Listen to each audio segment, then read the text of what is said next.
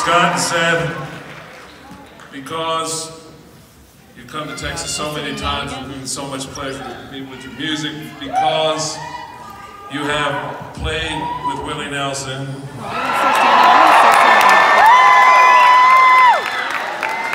and because you played with Asleep at the Wheel, and because Austin loves you, on behalf of the we flew this Texas flag over the Capitol yesterday. We were honored. I'm here. Wait a minute. You and the whole band, you and the whole band, I'd like, Brendan Anthony is from the Texas Music Office and he has something to present y'all with right here.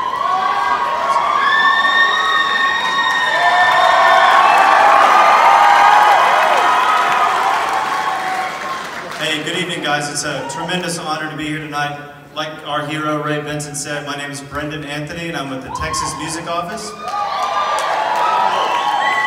And I think we all heard the story about uh, Scott's affinity for Austin, Texas. And, and every time he drives through, man, I could, I could, I could spend a little time here. And we hope that what we're about to do may push him one step closer to maybe spending some more time here. So I think I think most of you are, are uh, aware of another hero of ours uh, besides Ray in Texas named Lyle Lovett.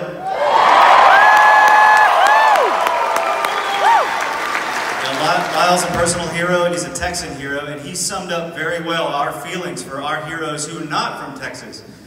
And if you want to, I think this could be really impactful if you could help me out. He said, "That's right, you're not from Texas, but." Texas wants you anyway. 100%. So, so with that said, on behalf of the uh, Texas Music Office and the great state of Texas, we are extremely proud to make these guys and the Avett Brothers Band honorary Texans.